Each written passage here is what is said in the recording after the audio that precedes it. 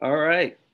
Good evening and welcome, welcome everyone to the Book Writers Roundtable, sponsored by AlumniMatters.com. My name is Brian Sowell. I'm a partner with the Alumni Advantage Group, and uh, here I'm excited to bring to you this presentation and discussion with an exciting panel of writers um, this evening. Uh, this is probably the first of a few series of events that we'll have but this one particularly comes straight from the Alumni Circles Facebook group uh, community and is a topic of interest of the group. So we want to bring some members together to discuss and share their experiences with book writing and publishing. So we have tonight, uh, we have uh, Teri uh, Ellen Cross Davis. She's the author of A More Perfect Union, a, a widely recognized and awarded author uh, of that book and several other um, poetry pieces that she's written over the years. Uh, she's based out of um, Silver Spring, Maryland, originally from Cleveland, Ohio, and uh, uh alumni of Ohio University. Uh, we also have Welby Broaddus, who is uh, based out of Akron, Ohio, and he is the author of Leading Blind by for the visually impaired and uh, he is from the University of Akron. And uh, we also have uh, uh Tiffany Teachey out of Charlotte, North Carolina, and an alumni of UNC Charlotte, and uh, originally from Winston-Salem, is that right? Winston-Salem, North Carolina. So excited to have her. She is the author is of a children's book called What I Can Be, STEM Careers from A to Z. So exciting. We got a diverse group here and a diverse group of experiences here. So we're excited to get into some of these questions uh, from uh, Alumni Circles group. But thank you all for being here, first of all. all right. So so let's get into it right away because uh, we know the folks want what they want to know here. So uh, the first question, uh, I'm gonna go around the round table here and just ask a, a simple, uh, we'll start with uh, Teri. Why did you publish a book and did you self-publish and why did you go that route? Um, my first book, Haint, came out in 2016 and it was published by a local um, DMV, District Maryland, Virginia, a local Virginia publisher um, by the name of Robert Giron, and his press is called Gival Press. Um, I had the manuscript, a third of it came from my thesis for my MFA at American University. Um, and the rest of it came from other poems that I created, you know, after post grad. I had shot that manuscript out to a couple different contests. For me, I work in the poetry world. I run a poetry series as a full time job for the Folger Shakespeare Library, and I've been in this job for like 16 years. So I, I for me, I know the avenues of publishing in poetry and somewhat in literature overall. And I wanted to do a contest. I know that if you win a contest, you get the PR and the marketing of the contest behind you. And a lot of people tend to pay attention if it's an award winning book. Right. Um, that said, I had my I had that first manuscript out for a lot of places. And I was actually at a reading in Virginia, and the publisher approached me and said, I heard you had a manuscript. Wow. And I was like, um, yes. So I had to figure out bird in the hand or two in the bush. I was like, mm, bird in the hand. Um, so, and that was one of the best decisions I've made. Um, so the book came out. It actually won the Ohioana uh, Poetry Award for 2017. Mm-hmm. Um, and that led to just kind of more opportunities to go. I actually went to Ireland twice to read um, and do a whole literary tour there. They love poetry. Yay, Ireland. Um, and it, it, it gave me a lot of opportunities. And when the second book came around, um, and I will say, in between all of these, I did a lot of residencies, mm. a lot of residencies. Because I invite poets, I'm always reading through bios and I see, oh, there's, you know, Sewanee Writers Conference. Oh, there's Hedgebrook. Oh, and I'm a Cave Canem Fellow, which is an organization that supports Black poets and oh. has like over 400 fellows and has produced Pulitzer Prize winners and poet laureates and, you know, MacArthur Genius Grants. And, and so you end up being in the know with a lot of other Black poets. Um, right so all that you know all those opportunities led to things and by the time i had this manuscript for a more perfect union i um it was like oh the end of the summer of 2018 2019 2019 And I had submitted it to about maybe six different, six or seven different contests for the fall. I just went ahead and made the investment because you can deduct that from your taxes. Um, and these are the things I like to share. You know, right. folks need to know you can deduct that as a writer on your taxes. Okay. And I happened, um, I got a call from Kathy, from the poet Kathy Fagan out of Ohio State University. And she told me, like, right at the end of the year, that my manuscript had won the Charles B. Wheeler Poetry Prize nice. from Ohio State um, University's Journal. And so that, and then shortly after, um, you know, then other things happen. I won a prize with the Poetry Society of American Book and so on. But those two, I know that for me, and again, I know, you know, for poetry and for fiction and all this, it's very different. But I know for me, in order for my book to be eligible for prizes, mm-hmm. it has to be published in a tradition by a traditional publisher. Okay. A okay. lot of prizes don't accept self-published work. Okay, that's and, a good point. And I also knew that by having, I went from a small press to a university press, okay. which meant that I then had a marketing and a press, eh, you know, press release, and I had, you know, someone working on press and sending out those press releases, mm-hmm. and and actually putting me up for different prizes and all of this. Oh. Um, so I knew that there would be a manner of support from the publisher, but I did my research with both publishers. Yeah. And even with my first publisher, I knew that he had a table at the Associated Writing Programs, you know, annual conference, which is a huge conference, and that he would support me at that table, create readings to support the book, and so forth. Um, so that's why I went that that route because again, working in the poetry industry, um, I know that if I have a traditionally published collection, it mm-hmm. will get a different kind of attention okay. it might be more liable to get reviews, which are really helpful. Um, and I wanted that kind of attention. I wanted right. that level, that check, you know, about the book. Yeah. And that's not to say that self-publishing isn't an avenue for people, and it can be. And I'm all for, you know, you got to figure out what works for you. But right. that's that's the route I went in because, like I said, I, I, I knew how others would look at it, and I knew I wanted it to be eligible for post publication right. prizes which are very different than publication prizes. Right. And so your objective, your objective kind of kind of guided you on which which route you were going to take and from, from your objective there to get that kind of recognition you knew you had to play in that circle so very right. interesting and we're going to come back to that topic about the marketing aspect of that because I, I, think that's that that was a question that came from the group as well so let's let's hold off on that because we're going to hit that that came up from the group now, that's one end of the spectrum. Um, Teri's very experienced, has has had a lot of. Uh, obviously, she's working in that field uh, professionally for a while now. So that's one end of the spectrum. Welby, on the other hand, he's just getting started. So so let's hear from Welby um, this time and, and hear where he's at with his journey. So Welby, why did you decide to publish this book, and you know what's the route you're taking with regards to publishing and why? Um, so um, I always want to write a book years ago. As a matter of fact, when I was in college, uh, when I took English comp 111, first English, English class at University of Akron, and we just write papers. And so one paper we was allowed to write about anything we, we want, about anything we wanted to. Mm-hmm. So I wrote about the time that me and my buddy Mac, we all went to Virginia Beach, the uh, Black Beach Beach Party, and we stopped at Howard, and then we ended up going to the beach. I wrote, I wrote about that whole trip. Oh wow! I submitted and my professor like, "What's your major?" I said, uh, and at that time my major was computer science. I was a tr- traditional college student. I changed my major like four times, but but um, I said, "Well, computer science." He said, "Oh, you need to be an English major. You need to be a writer." I said, "Man, I ain't. I'm not into that. I'm not doing that." But I always wanted to write a book.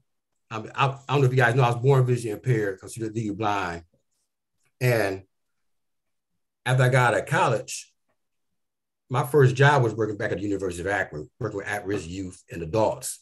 Okay. Who, who was receiving public assistance, and they was in this program at the university where you either help them get a job, get them skills get a job, or you help them get their skills up and get, get enrolled in college. And I ended up working there for like three years until they lost the grant. So I ended up working for this other company. It's called Jobs for Ohio Graduates. I don't know if you guys are familiar with that. It's a part of the national organization called JAG, Jobs for American Graduates. And I work with at-risk youth to help them find jobs. And I worked there for 14 years. But my eighth year working with the company it was time for me to go because I didn't like where the program was going and me and the director weren't getting along. And so I started applying for jobs. And so when I would apply for jobs, they would ask, give me scenarios on how would you do this situation. I'll tell them how to do it. They was all excited. Like you just tell like, oh yeah, I, I can get them to get this job. It always got to the question where they already asked me, is anything about you that you never you didn't tell us that you'd like to share? So I tell them, I said, well, I'm considered legally blind. I don't have a driver's license, so I won't be able to drive. But it, that should never affect me by doing the job. The whole, it was, and I talk about this in the book, it, was, it was just like playing the game Pac-Man, when you get everybody goes, in my mind, it go, game over. So wow. I, and that would always happen. Then I would, I'm, i was affiliated, at the time I was affiliated with like the Vision Service for the Vision Impaired in Ohio. Mm-hmm which is a state agency to help blind and vision impaired people get jobs, get in school, things like that.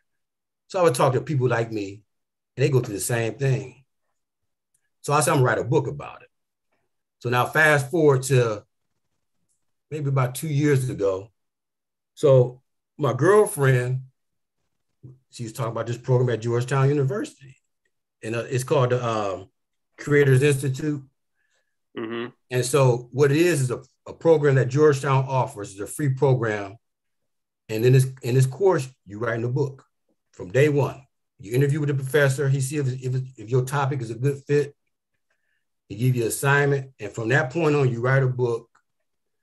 You you actually come up with your your final manuscript, and if it's a good book, then they put you on with their publish their, their nonprofit publishing company, which is called New, New Degree Press, and they they help you get publish your book through the process. Wow. Um, I love it. I always want to write a book, and I'm, and I'm, I'm gonna start doing this for the rest of my life. I mean, I, I know it. It just, it just. You got the bug now. Yeah, yeah, and, and, and I know the other other authors they can contest. You, it's like, it's like a drug. To be honest, I mean, yeah, it's, it's it's it's like it's in your soul, and and there's some pitfalls. I know we're gonna talk about that later on, but it's some pitfalls in it too. But the pitfalls do not overweigh the reward. Right. I I'm dead serious. And, and like my professor said, everybody has a story. Yeah. Everybody. Absolutely. Absolutely. Uh, yeah. So that I, I, decided to write a book because I want I want my book. My book is basically geared to business owners, business executives, HR professionals, so they can learn the benefits of hiring people who are blind and vision impaired, and also the diversity and inclusion they give within their company because you can get a whole different perspective. Because us people who are blind and vision impaired, what people don't realize, we have to navigate through a world every day that's not set up for us. Right. So if we can do that on a regular basis and be successful on top of that, we can do anything we want to. Just give it. All we need is the chance. So. Amen. Amen. All right. Well, thanks for sharing that. And that that's, I mean, whatever it sparks you, man, and and and that professor seeing that in you, you know, and turning that on to you, and now you realize that you know you had a gift there and now you had a mission after going through the experiences that you had. So that's that's a blessing to do that.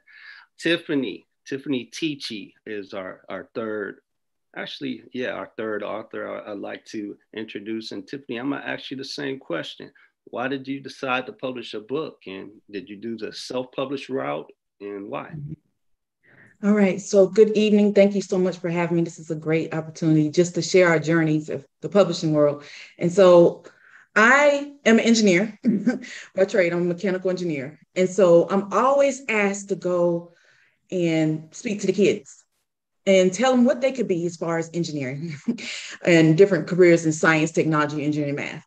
And so, when I go talk to the kids, a lot of them have never met an engineer.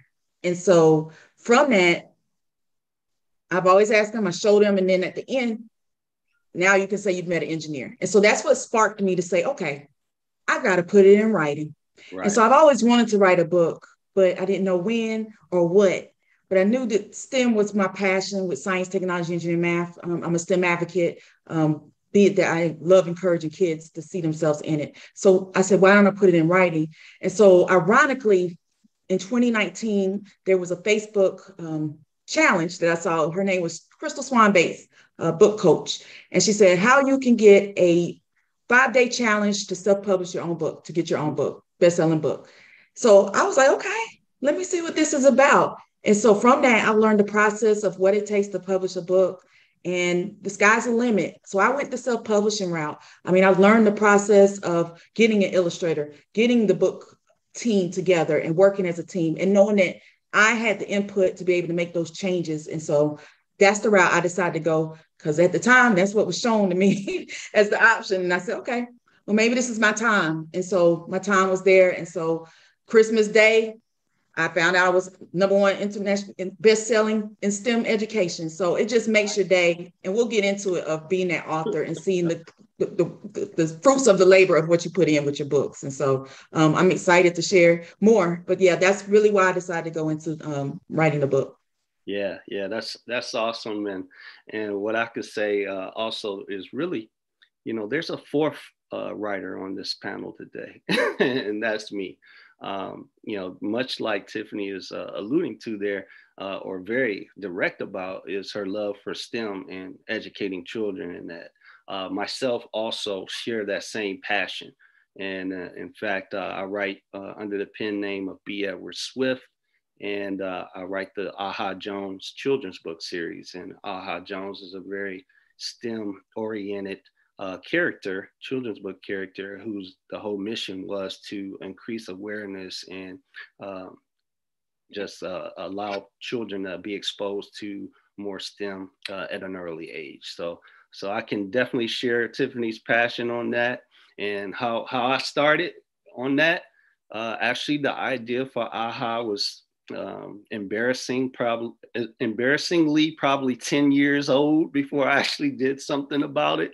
Um, I had the idea in probably 2000 or something. And uh, when I was in my master's program, I had to do a project and you know, for that project, I said, hey, this is something I always wanted to do. So I have to do a project. So might as well do something that's uh, re- rewarding to me and uh, also could give back um, to uh, an area that I was passionate about. And so that's what kind of pushed me, you know, down that path. So, and much like she's alluding to there with the team, you know, I knew it was going to be probably difficult to push myself through that uh, at that point, I didn't have any kids or anything. So I leveraged people around me that uh, shared a passion for youth and uh, they could provide some insights on what things uh, really connect with uh, the youth, uh, that target group that I was working with.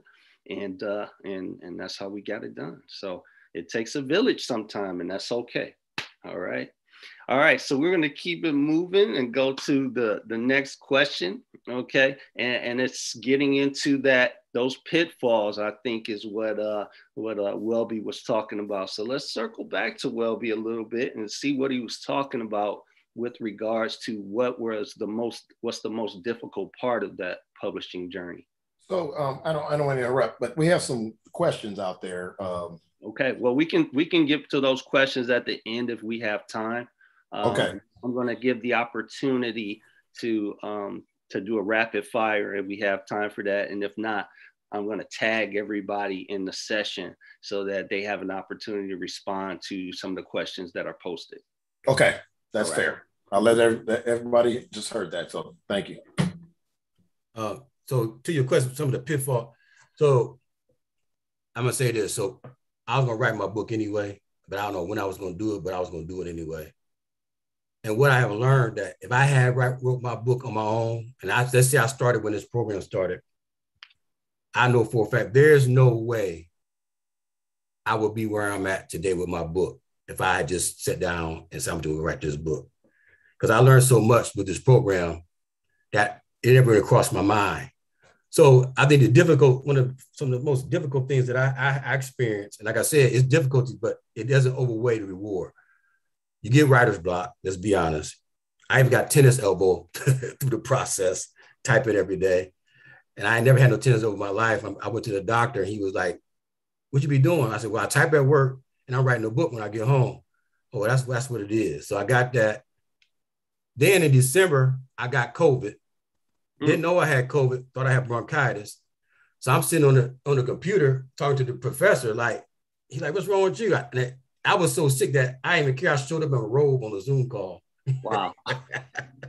and he's like, man, you sick. Just go to sleep. I said, no, I got to do this stuff. I need to do information. So I think some of my pitfalls is just remaining focus. You know, you got to find time when is when is your brain best function. For me, I'm a morning person. Okay. But Monday through Friday, I'm at work in the morning, so I really can't. I did do work my book at work. I'm gonna be honest, but I had to find time that really I get hours. So every Saturday and Sunday morning, Saturday morning I get up at 7:30. I just start. I start writing. Sunday I get up. I do. I do a little, my little Bible study. Then after that, I'm, I start writing because I know by two o'clock my mind is somewhere else. So I, I had to stop.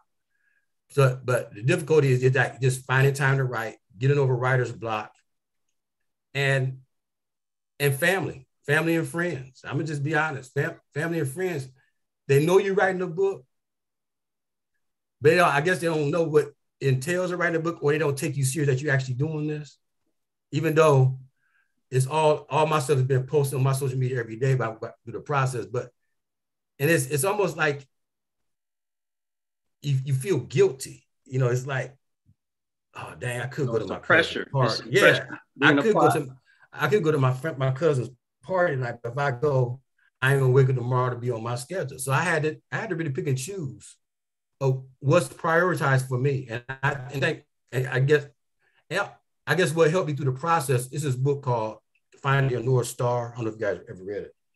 And in this book, I found at the Goodwill for seven dollars. I just picked it up and just started reading, brought it home. But it's probably one of the best books I ever read. Hmm. And it it it teaches you. We have this book says we have two self. We have a essential self and a social self. The social self is the dominant. So that's the that's you when you when your buddies call when you know man I ain't trying to go out, but I go out anyway Mhm. or something like that. Your essential self is like the quiet one who is really your true self. So it teaches you to flip the script. So I, I- when I learned to do that, my I took myself out the game, out of everything but book and work for the, this majority of this time. I got a little more time now because I'm almost at the end. But when I was in the trenches and I had to do re, have work, and the other other contestants, contestants, if you have a if you have an editor, you got writing writing deadlines. I gotta have so many words by this date. And it's not about like, oh, don't worry about it. My editor, I'm beyond, he was in my ass. I'm be honest. He he held me to a fire. We needed 10,000 words today. You don't have half, you don't even have 5,000. What's going on? It's like, hey, no excuse. Yeah, yeah. And and and and, and that's and that's that's the truth. And I think so. The difficulties I have is just being remaining focused and taking myself out of out of the mix for a while. Those But I, I learned to do that through the process. Right, right. Teri, let's get a, a, a different perspective. You've been in, in the game for a while, right? And, you if you you chose that path of seeking out, you know, that um that mainstream type of publishing route. What's the most difficult part of that that journey? I mean, it sounded like you were blessed and and, and they kind of found you. but Well, the, the hardest part is is is like Welby said, is getting is writing. okay. That's the hardest part. Um, and you know, I'm a mom of two. I have a 10 year old son, um, August Ellison. You can Mhm. figure out where those names came from. Um, and, and Zoe Elise, who's 12. And my husband's also a poet, a published poet. Our both our debut poetry collections came out the same year, about like a few months apart. Um, Okay. Um, and he's a Cave Canem fellow too. Um, and but the hardest part as a mom, like that's there's a reason why my first book, my debut poetry collection, didn't come out until 2016. Yeah. Um, I literally had to wait until I weaned my son so Yeah. I could go away to write. I it's hard for me to write at home because Yeah. there's always somebody looking for mommy. You Right. know, if it's not the kids, if it's not the husband, then it's the cat or the dog. It's something Right. and and or it's work and like you Welby I, I i know i know that you know when a poem comes you get you just got to honor the muse when it happens But for me yeah. it, it was getting Yes, away ma'am. and in the first like and applying for residencies and fellowships are really key because they do put your name in front of other organizations and other Okay. people who make those who look at those awards and do all those things but when i got a chance when i was accepted in to the virginia center for the creative arts and i got a week away to write i was so productive and that is how i've generally gotten most of the poems that i've written and have published created Um, you know, uh, my husband and I both got a, a, fellowship for this place called the Hermitage, where they give you a house on the beach in Florida, um, you know, for like a week. And like we went this August for a week. Um, and and then like I went to this place called Hedgebrook in on an island, Whidbey Island, off of the coast of Washington State, and I was there for two Straight weeks. Straight out of Hemingway, right there. I know it was like it was a cottage, and it's just for women writers. So okay. Tiffany, I'm looking at you, Tiffany. just just look up Hedgebrook. Trust me, it's worth it. It's like one of the best experiences I've ever had. Wow. And yeah, jewels out here. I, I, I, am here. I am here to to praise the gospel of Hedgebrook and their radical hospitality because all I had to do was get there and write. And even once I got there, they gave me a check to cover my travel. And so for two weeks, I'm just there in a cottage with like four other women writers who I'm still close to and whose other books like you know Tracy Fuad's book just won a prize and and Ch- book won the Cave Canem Poetry Prize last year and you know and it's like Gloria Steinem had been there and I'm I'm in this cottage with like I mean any writer did you any woman writer you could think of like um oh i'm gonna forget her name the woman who played the head oh gosh in in black panther danai oh my gosh but anyway she was in the cottage i was in like there's a little journal so you can check um and like so it's it's getting away and that's yeah. that's the key so going yeah. to hedgebrook was was great going to um the community of writers up in, in Lake Tahoe in California. I got a the Lucille Clifton scholarship to go there for a week, and there was generative workshops where I got to work with Pulitzer Prize winning poets. Yeah. Um, and, and it's the same with Cave Canem. My first time going there in 1999 is what then preceded my very first published poem, which was in an anthology by um, Tony Medina and um, another poet. I'm just forgetting names tonight, but um, so it's it's getting away and, and, and because writing a poem, I, you know, it takes hours and it yeah. takes months and it takes years. Well, the interesting thing was uh, I used to write poetry too. We called it rap. back in the day. But uh, as Welby mentioned, I was writing at work a lot of times. I mean, it was so funny because that's that's where that it, it was an emotion that that hit you, and I had to let it out. You know, even if it was you know, just a little bit. But those are some jewels that you were dropping right there, Teri. So hopefully, Tiffany and Monique, I know you're out there watching in the live. I hope you guys, Thea, she's also out there and posted questions. I know they're all listening. So I'm gonna keep it moving with a little bit slightly different angle on that question, Tiffany, for you. And um, how did how did you go about shopping for a publisher? You know, um, from the angle you went from?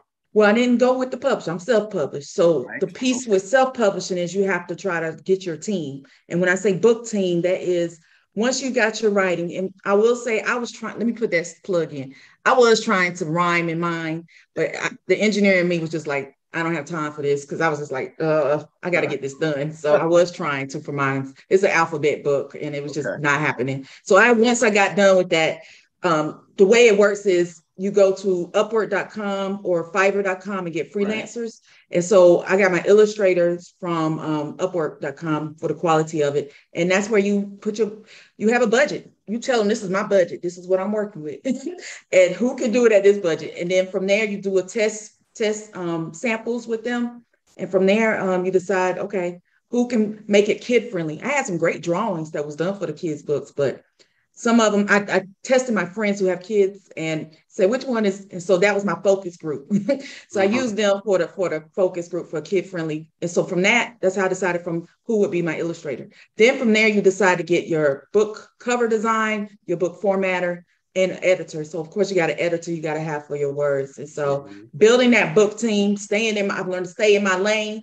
This is not what i do. And so working with a team finding the right freelancers that can do it at reasonable price. Um, right. I think it's been what's been beneficial for me. So that's how I've tackled to get my book team from there. That's a great point, and I hope you guys are listening and taking notes. What she said was Fiverr.com and Upwork.com, 2 mm-hmm. resources that I did not know about when I went on my publishing journey. I found a great illustrator, but I probably spent over my budget on what I should have on my illustrations at the time. So that that's a lessons learned for me Um, also, someone asked about where do you find photos there, and, and I could tell by Welby's website, he knows about pexels.com. Um, pexels.com allows you to search for different types of photos by subject and type and those photo, uh, photographers post those photos and you can buy them or or you can get them for free. Teri, you have a, another suggestion? Yeah, there's um, was it Shutterstock or iStock.com and Shutterfly, but also um, this I learned from a poet painter friend of mine. The Library of Congress mm. gives you access to, um, and there's the art uni- the Art Institute of Chicago. You can actually surf, surf, um, search for photos and paintings that are part of the public domain now. Right. And right. that can lead you to, you know, well-known artists and their work, and it's now part of the public domain, and you can use that too. So, um, because I was really, really searching hard for my cover for um, a more perfect union. Right. And you know, I ended up making a cover, it's a whole thing. But um, but yeah, but I, I I was really really that so i just want to put those resources out there that if you go to the library of congress and you can do searches through their um, photography archives and you can find stuff that's part of the public domain which means awesome. that you can get it for free Thanks also i'm gonna add this let me add this too yep. the thing about getting photos for the, you, you guys your, your author your community out there be careful of the photos because a lot of photos that's out there you only use for a certain period of time so if you publish in a book then you you liable to be sued. I learned that through the process as well. So you can't just go because they be on like those with Getty and all that type of stuff. I'm gonna use this photo. You gotta look at look at the, the fine print. It may say you only use this for a year, and you publish a book for life. Then you're gonna be liable at some point. Right. Good good tip. Excellent tip.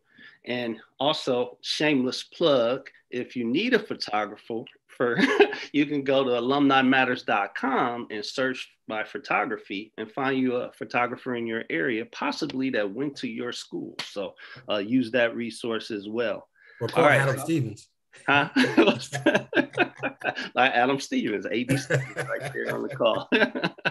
Absolutely.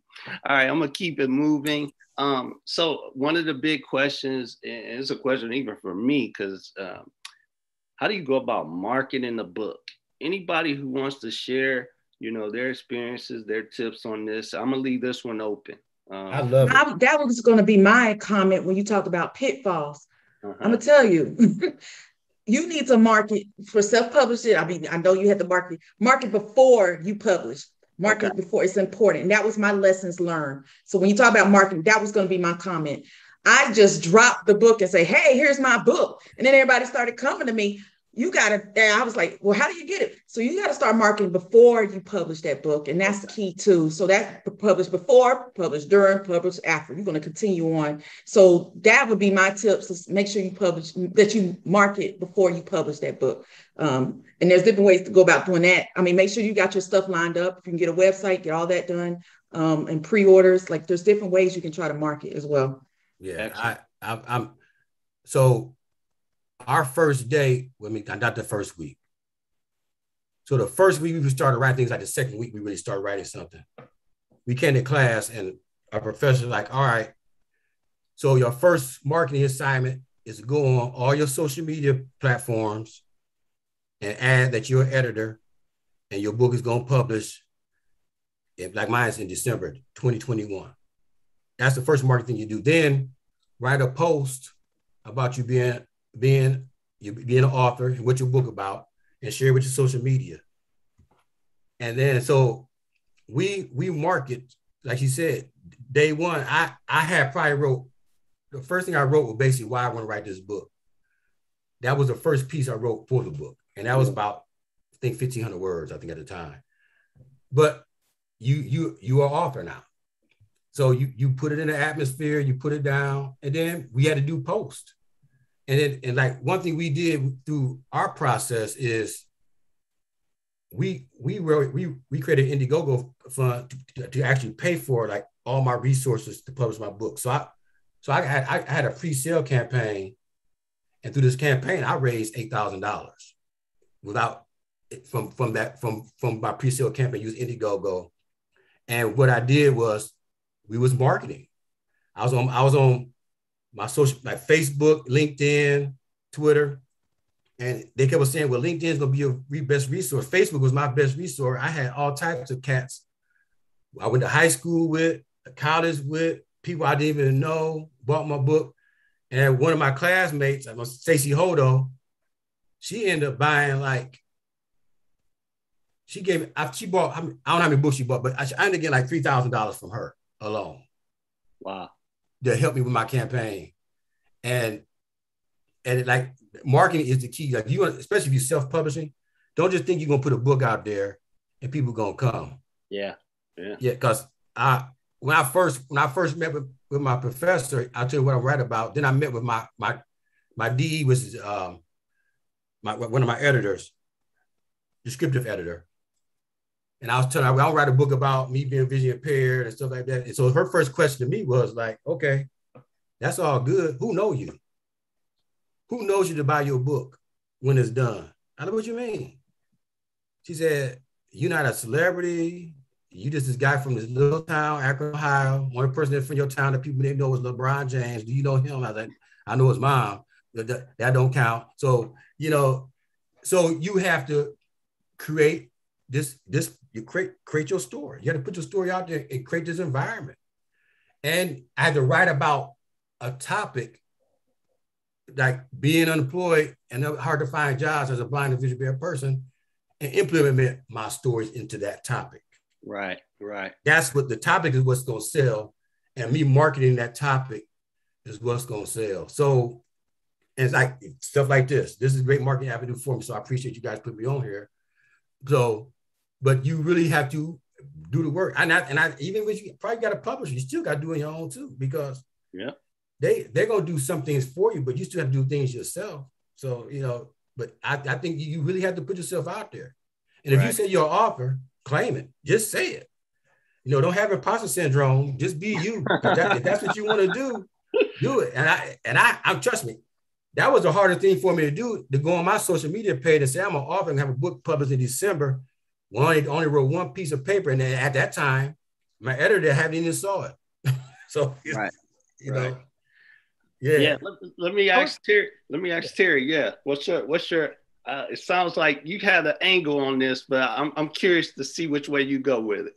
Um, well, again, like because I've been in the the poetry, like in in PoBiz as we call it. Um, mm-hmm. and running the series and meeting all these incredible like Nobel Prize winning poets and blah blah blah for all mm-hmm. these years. For me, I knew I with my first publisher with Gival Press, the fact that he had a table at AWP, which is the Associated Writing and Writing Programs Conference, the annual conference every year, over 10,000 people go there.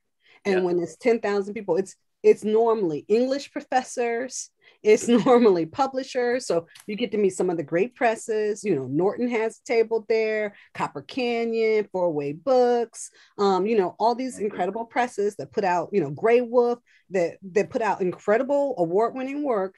They normally rent a table there or even a booth. Um, and so I knew that that's a place I needed to be, and I knew that that was a plus that my first book publisher had a table there and he would set up events. But then the key for me um, is is events. And because people are more willing to buy a book if they can get it signed by the author. And that and and I mean I run a poetry series. So every reading we have a bookseller.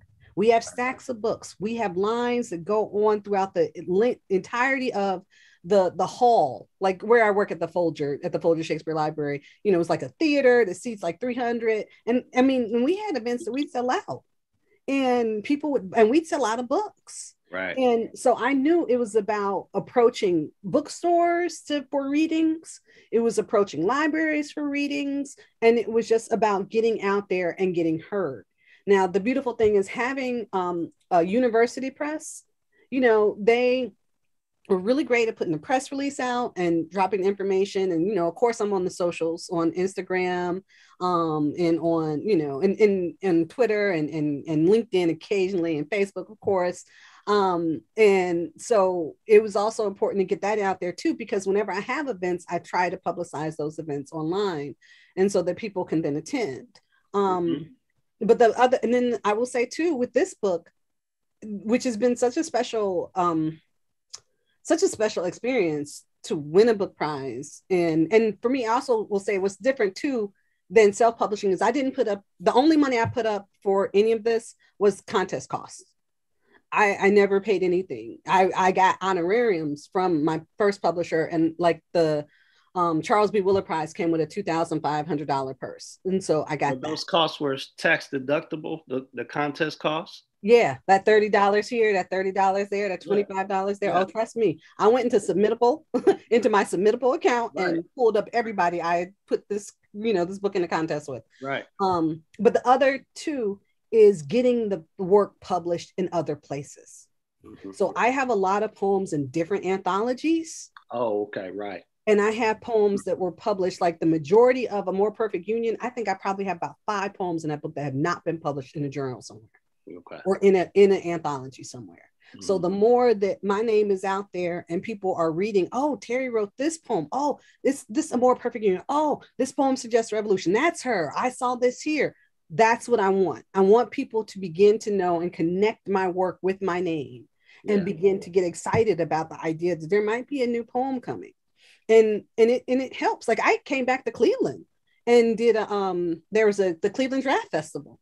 And that was instrumental because from there I met a great professor at Hiram and I just visited her class and they read my book, which meant they all had to buy the book to read it. And I think like, you know, that's what it's about. look, it's all about those meet and greets. I've gone to universities virtually since this book has come out. And then I was I also end up um having hiring additional publicists. Two black women came to me and said, "Hey, you know, we'd like to promote your work." And and so I thought about it, thought deeply. I was like, "Do I really want to put some money into publicizing?" It has been they have been awesome, and I have gotten you know I, I I've gotten all these gigs because yeah. of them because they've been putting my name out. You know, whether it's a podcast here or uh, you know a central focus here or you know this magazine is going to do a feature here it's right. that's the kind of stuff that begins to file in because you have to continue to push and put your name out there and that's so true yeah. So, and now, now, i'm gonna I'm, I'm gonna tap into a couple things you said and share um, some experiences of my own. When you talk about um, going to events you know my biggest selling days were um, the Ohio University Black Alumni Reunion, selling out, you know, on that weekend, um, doing book events during that weekend.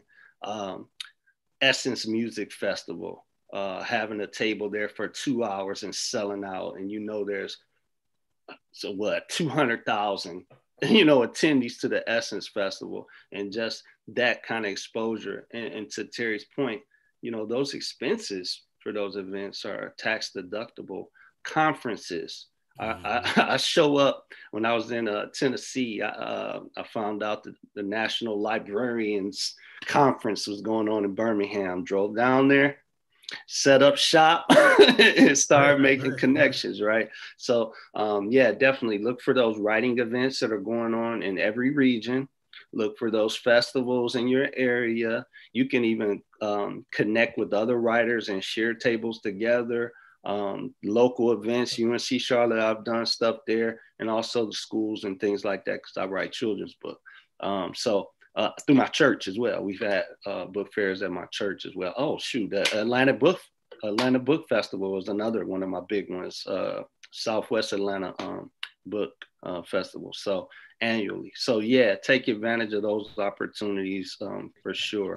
I got, I, I got one more. Can I, well, I was going to say with the going to the fairs and doing all that, social proof is important. So I'm always about taking my pictures everywhere I go. So when you talk about going, taking those, it's something about having those pictures with those kids and seeing them inspired, having those opportunities. So when you talk about the marketing piece, you got to have proof. You got to have your social proof. and so that evidence. part of it's important yeah, too. So I just want to put that out there. And I'm going to say one more thing as far as marketing if you if you are alumni of university, go to your alumni association. I mean, I went to mine, and they they about to put me up some departments. I'm hoping you can buy my book for for for a class, be required reading. Yeah. So your alumni association, they want stories about alumni positive things that you're doing. So I don't care if you didn't even finish, just so you went there. Hey, they they they they gonna talk to you and give you opportunities. Right. Absolutely. And, and reviews are important too. Um, when you're talking about marketing, I want to put that out there too. Mm-hmm. Try to get some positive reviews, testimonials, like yeah. all of that is key when you're talking about marketing as well. So I have to put that out there as what's important too. So yeah. And, and you can do reviews on alumnimatters.com in, in case mm-hmm. you didn't know that. I will say one of the first things I, I asked my husband to do when you know Hank showed up on Amazon and I knew my publisher. That was another thing too. I also researched about my publishers, like where would he have my books available? And this is right. this is with the first book. With the with the university press, you know, it's a whole different game. They have a lot more avenues. Um, but it was I, I wanted friends to go and review the book on Amazon and give it a good review. But then too, and, and, it's like I'm working with another friend. I'm in I'm in a collective of Black women poets called Black Ladies Brunch Collective. Mm-hmm. We actually put out an anthology that Baltimore called the best of 2017. Hello, we took it to we took it to Ireland, sold out in Limerick. Who knew? Um, uh, so, but yeah, but it was about it's it's about those reviews are really crucial Yes, um, and I was just talking to another friend about, you know, her new her debut collection is coming out, and we are just talking about, you know, where to get those reviews. So this is where those groups on Facebook, like I'm part of this Black Binders group, where's Black women writers, and boy, you know, you put black women in your group, you know we do things. That's um, right. black girls magic. You know, they don't play on black yeah. binders. They every day somebody's like, "Oh, I'm doing this thing and I'm doing this thing." And yeah. like, hey, wow. That's um, so true. Yeah, yeah. So, um, and that's how I got on a podcast, you know, a different podcast. Right. And, you know, and so I was, I was, just about to say that, Teri. I I think what people don't realize who who's not in the author community, how you get on New York Times bestseller, it's not really about the content of your book. It's about the sales. It's about the responses you get like on Amazon, the comments people make. So, like one thing I'm gonna do when my book come out, I'm gonna have a book event and I'm gonna offer my my my Audible book for 99 cents. So I might just have you get the book for 99 cents and then write a comment. That's how you get the reviews. That's how you get New York Times bestseller. That's how you like podcasts. People get you called on shows. These people may have read your read your book, but they see that oh, this book is selling. This is somebody we want to talk to because it's a popular item. Yeah, and, I had a yeah, and, and, that's one thing I, I just learned this year since being in this program. So you know, and I went a couple of my co-authors books were already published like in August. I went to their thing. They had great events, and everybody bought the book for 99 cents and said something, give it five stars and stuff like that. And just one girl had a top selling children's poetry book that just new releases just came out in the first week. So it, wow. Wow. Yeah. Look, I, I'll tell you how you get on the New York Times bestseller. I have a good friend who uh, just got on the New York Times bestseller list because Oprah picked her book. Okay. Amen. You get Oprah. You get Oprah yeah. picture book. Amen. The love song of W.E.B. Du Bois. Pick it up. Honorary hey, I think that's every author's dream for Oprah to read it. I know, right? It really, it really is. And you know, to get her stamp of approval means a lot. All right. Yeah, definitely. Now I'm gonna ask Fred to go to the chat real quick and see if he has something. But Fred, I wanna I wanna leave these guys time to close out and plug their books before we wrap up. But we'll take what what do you have any good questions there, Fred, in the chat that that I have some Swift. I have some. We have uh what's this one is a what is the name of that Georgetown program? That'd be Welby. It's called Welby, that's for um, you I'll tell you the exact name. Uh, the Creators Institute. If the Creators to, Institute? Yeah. If you go to just go to LinkedIn and type a Creator Institute or Eric Koester, and his culture spelled K O A S T E R. It's called the Creators Institute at Georgetown University. And actually, his advisor just sent me something last week. They're looking for people to sign up for this fall's course. Uh, the fee is $500 to get in the program. But at that point, you get everything you need. They tell you what you know. They you get all the and that includes for all your editors and everything else as well. But it's a great business. program. And once you're in the program, you're in it for life. Yeah. Okay. Thank you. The next question we have is, I think it's for you, Swift Bryant. What's the pen name for the Aha Jones books? Uh, B. Edward Swift. Uh, B. Edward Swift and it's Aha Jones. I have the Adventures of Aha Jones, and I have um, New School. I mean, I have New School Blues, and I have uh, Aha's Dentist Visit. And much like Teri was alluding to, to, since the twins came along, I have a third one on deck. but it hasn't moved yet. All right. And then we have another question. I guess this could be for any other you offer. What was the process of getting uh, editor for your book? I don't know if we, I can't remember if we touched on that or not, but Teri, just Teri briefly. through her publisher. Right? Yeah. Yeah. But the- Mine was on Fiverr. for yeah, me. for the first book, I had to make sure everything was all set because he he did not have an editor on staff.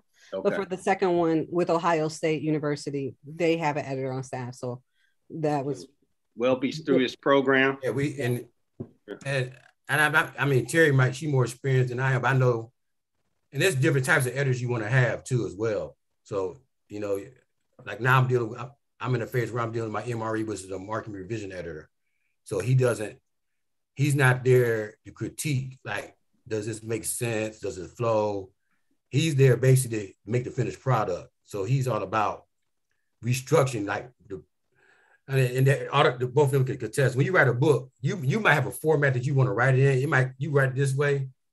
When your editor touches it, it's like, no, this don't make sense. Let's move this paragraph here Right. and move this here.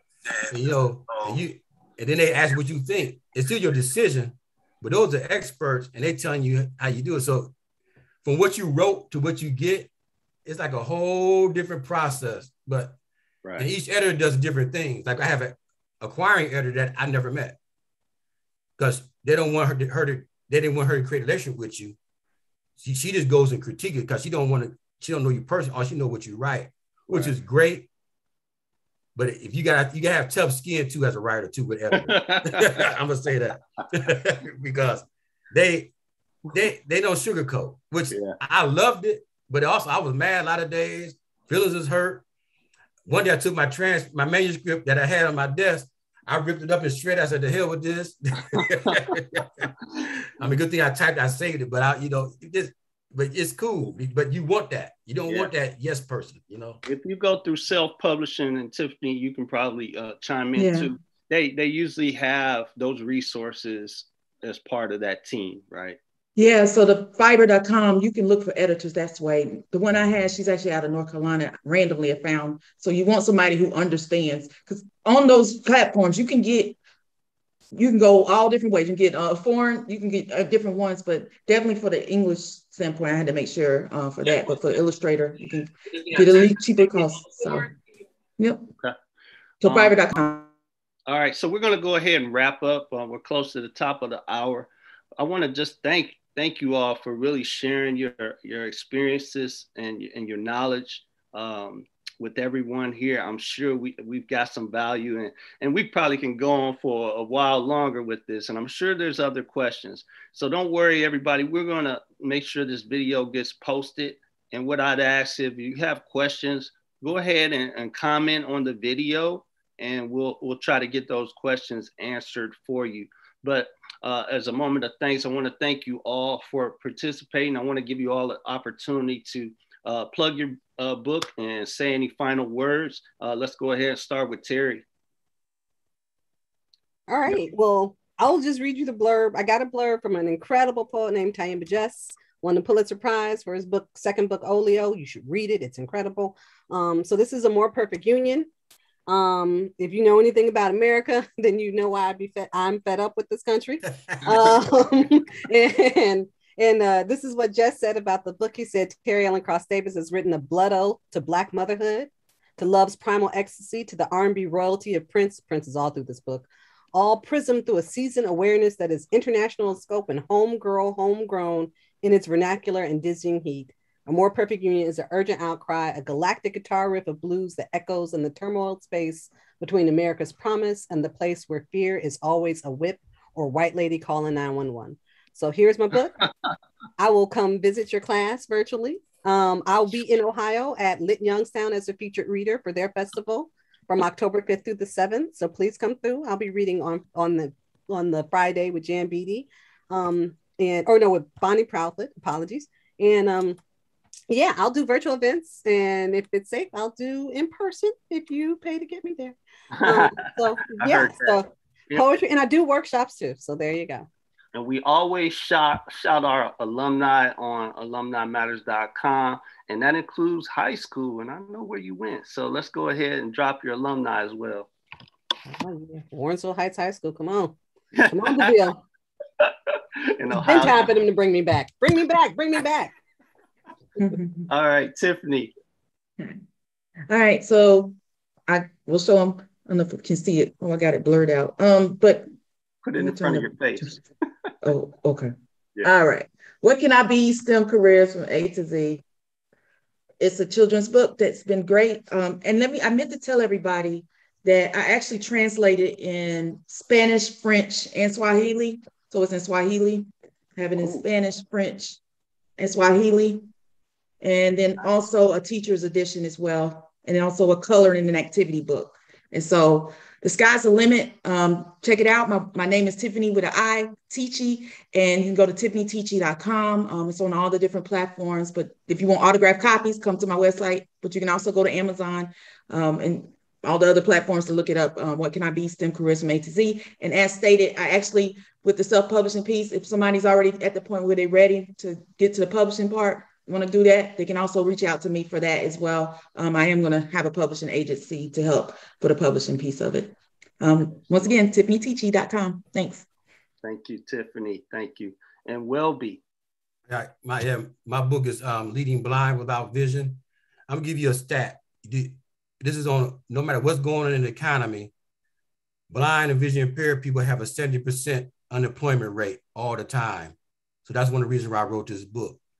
So my book will be published this December. So if you know somebody that's an HR professional, business owner, uh, business executive, or even somebody who teaches at a college, like in human resources or business, this might be a great Christmas gift for you to buy them. Um, also, with my book, I'm gonna do trainings and seminars, speaking engagements, and things like that. So you can reach my website, which is broaddusbizsol.com. That's B R O A D D U S B I Z S O L.com. So look, look me up if you want, if you really care about helping somebody and make it, you know, the biggest topic, diversity, equity, inclusion. But when people talk about diversity, equity, inclusion, they always forget about the person that's blind or vision impaired, or pretty much anybody with a disability for that matter at all. So include us as well because we're a great asset to any company. All right, excellent, excellent mission, uh, excellent book. Um, and we're we're just so thankful to have you all. I'll, I'll do one more plug here. Uh, as I mentioned, I am also a writer. Um, the Adventures of Aha Jones by B. Edward Swift. This is New School Blues. And we also have uh, Aha's Dentist Visit. Aha is eight years old. He's um, very into. He wants to be an astronaut. He's very interested in all things STEM, and there's learning activities within each book that can extend the child's learning. So check me out. I'm on Amazon. I'm also on alumnimatters.com as well. All of these authors are on alumnimatters.com, so check them out there. You can also join our alumni circles group on Facebook if you haven't already, and you'll we'll have more programming and content like this coming to help um, just add value to the community. Uh, we're so thankful for the authors, and we're so thankful to have you here um, watching us this evening. Uh, Shout out to my partners uh, from the Alumni Advantage Group, uh, Fred Cash Jr. Uh, and Adam Stevens from the technology team working through um, this uh, live feed. And thank you all for your support. Remember, celebrate, support, and do business together. AlumniMatters.com. Good night, everybody. Thank you. Thank you. Thank you. Oh, that's, Thank great. you, that's great, man. Yeah.